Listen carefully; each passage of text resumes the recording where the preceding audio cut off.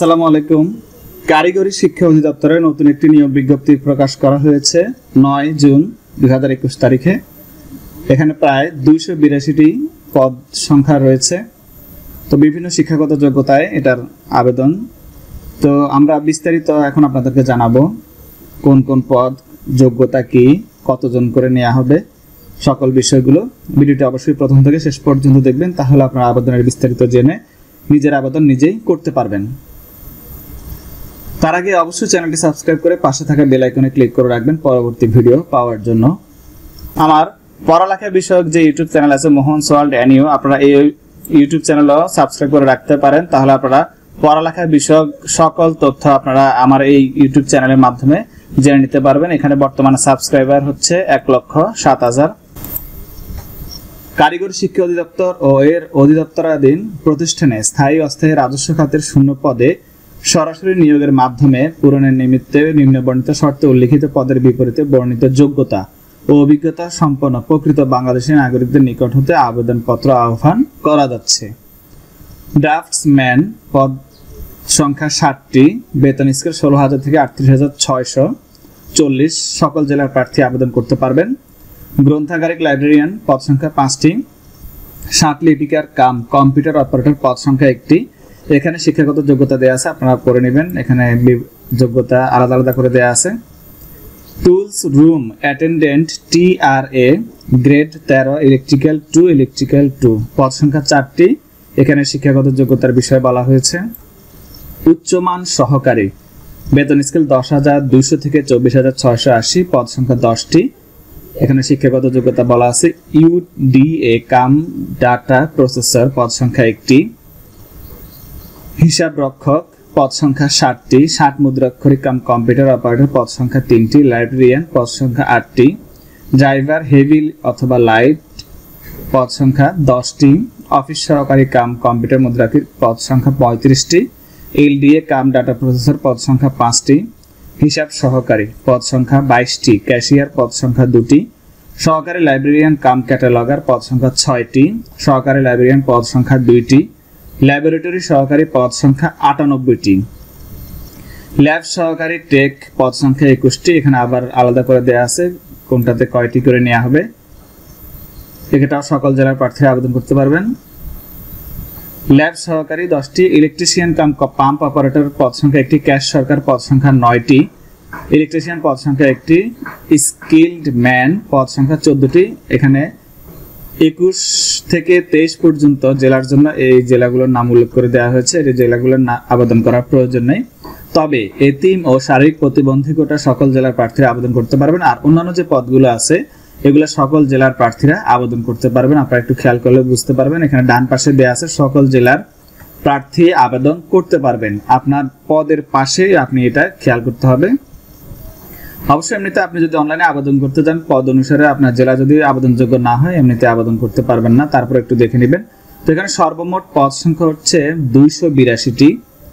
তো এবার আসি আমরা আবেদন প্রক্রিয়া নিয়ে। আবেদন প্রক্রিয়া শুরু হবে পনেরো জুন দুই হাজার একুশ তারিখ সকাল দশটা থেকে এবং শেষ হবে ষোলো জুলাই দুই হাজার একুশ তারিখ বিকেল পাঁচটায়। ওয়েবসাইট হচ্ছে DTER dot Teletalk dot com dot BD website থেকে আপনাদেরকে আবেদন করতে হবে। তো যেহেতু আবেদনটা এখন ওপেন নেই তাই আবেদনের ডেমোটা আপনাদেরকে দেখানো সম্ভব হচ্ছে না। তারপর একটু খেয়াল করে শুনুন আশা করি শুনলে আপনারা বুঝতে পারবেন।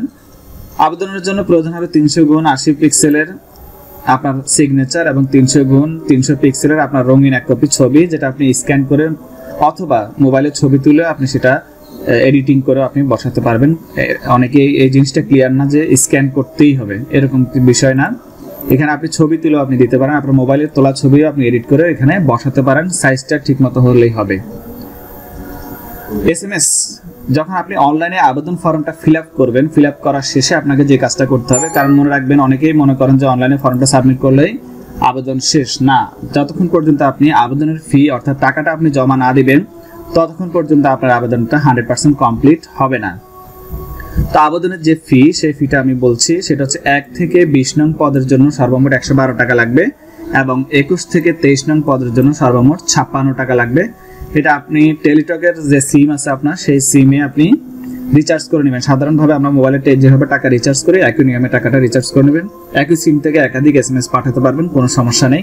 এবং যে কারও সিম থেকে আপনি এই টাকাটা পেমেন্ট করতে পারবেন।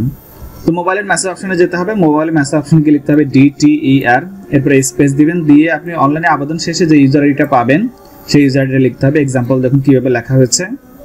এভাবে লিখে এটা সেন্ড করতে হবে। ওয়ান সিক্স ট্রিপল টু এই নম্বরে সেন্ড করতে হবে। সেন্ড করে রিপ্লাই মেসেজ আসবে। সেখানে আপনার নাম থাকবে, আপনার পদের নাম, কত টাকা কাটবে সেটা লেখা থাকবে। এবং আপনাকে একটা পিন নম্বর দেওয়া হবে। সেই পিন নম্বরটা আপনাকে নোট করতে হবে দ্বিতীয় মেসেজের জন্য। আপনি আবার মোবাইলের মেসেজ অপশনে যাবেন। গিয়ে লিখবেন ডিটিইআর স্পেস দিবেন দিয়ে লিখবেন ওয়াইইএস এরপরে স্পেস দিবেন, দিয়ে আপনি প্রথম মেসেজে যে পিন নম্বরটা পাবেন, সেই পিন নাম্বারটা লিখতে হবে। এখানে এক্সাম্পল দেখুন। সেই পিন নাম্বারটা লেখার পরে আবার সেন্ড করতে হবে ওয়ান সিক্স ট্রিপল টু এই নম্বরে সেন্ড করতে হবে। সেন্ড করলে রিপ্লাই মেসেজে কংগ্রেচুলেশন জানাবে এবং আপনার নাম পেমেন্ট সাকসেসফুলি আপনাকে একটি ইউজার আইডি এবং পাসওয়ার্ড দেওয়া হবে। সেই ইউজার আইডি পাসওয়ার্ডটা আপনি সংরক্ষণ করবেন।